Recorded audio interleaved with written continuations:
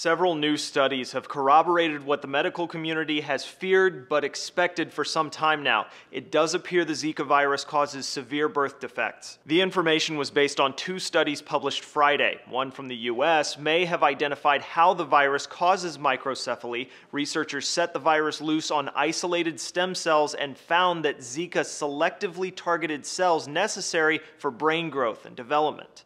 Another from US and Brazilian researchers found Zika infection during pregnancy is likely connected to grave outcomes for the babies. That study looked at sonograms from pregnant women who tested positive for Zika, and it found nearly a third of the pregnancies had serious abnormalities. The Zika virus is commonly spread by mosquitoes, though it can also be sexually transmitted.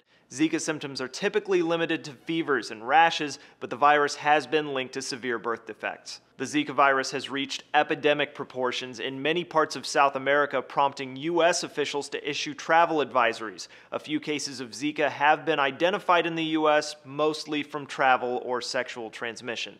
For Newsy, I'm Cliff Judy.